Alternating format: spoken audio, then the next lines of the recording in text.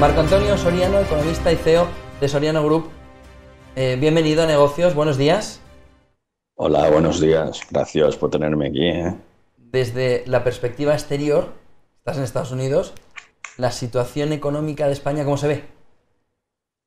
Pues lamentablemente negativa. Negativa.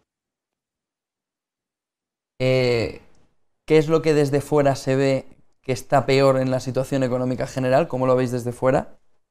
Bueno, aparte de que nos han dado varios números, ¿no? Tenemos los números eh, pronosticados del Banco de España, tenemos los números del gobierno, tenemos los números de la Unión Europea, entonces, y del Fondo Monetario.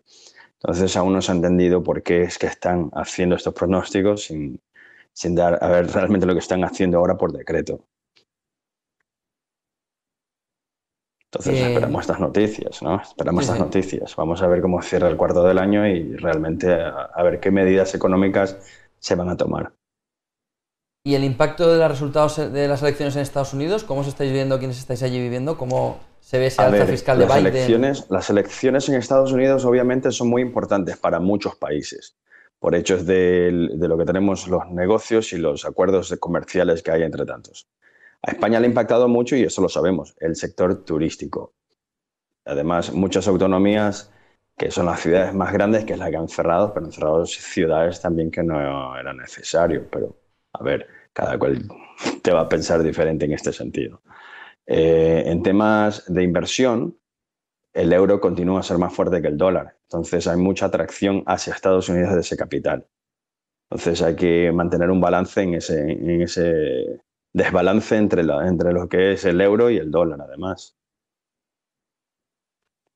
Y algunas, no sé si desde ahí mm, se vislumbra alguna medida para reactivar la economía.